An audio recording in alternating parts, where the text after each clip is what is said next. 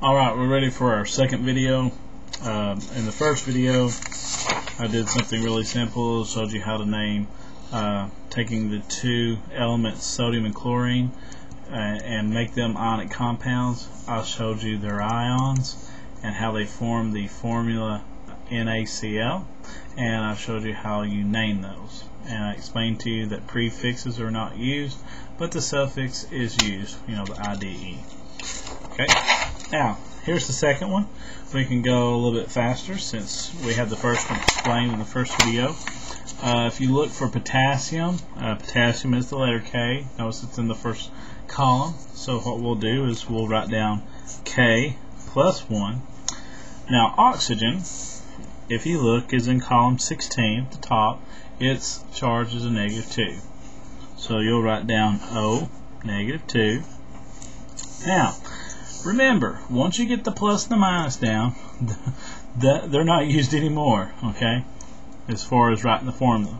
So you can ignore the plus, you can ignore the minus. Now remember, you got to cross these down, okay, like just like that. So basically, you're going to have K 2, and look how I write the 2, I write it small. That's called a subscript. O, which is the oxygen, and the 1. Now remember, we don't write once. It's understood that there's a 1 there if you don't write it. So we have the formula. Now, as far as naming this guy, it's kind of easy. Remember, no prefixes are used. This is potassium.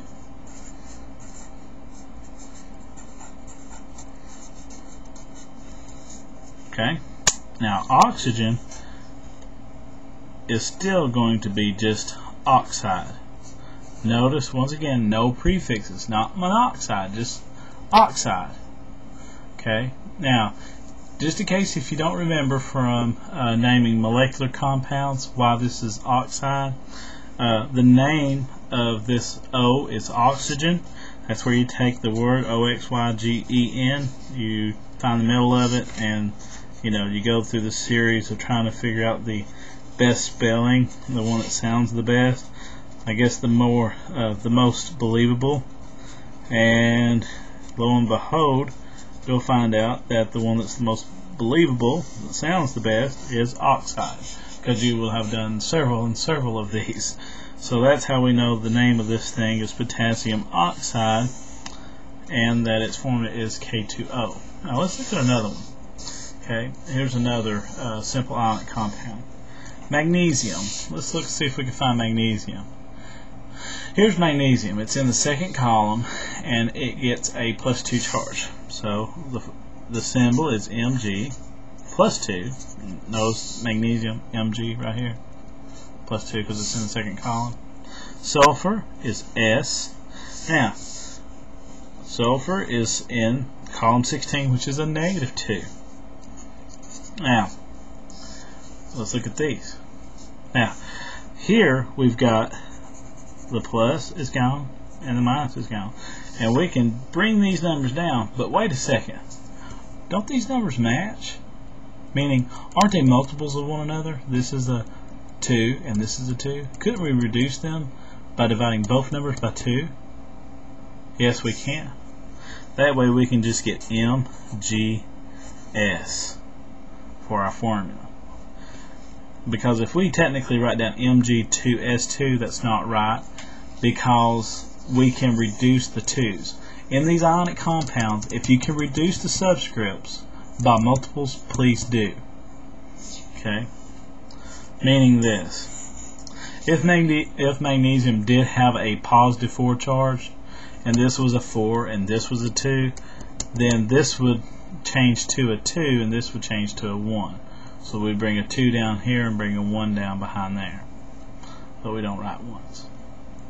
So if this was Mg positive 4, S negative 2, you'd see uh, Mg 1, S 2.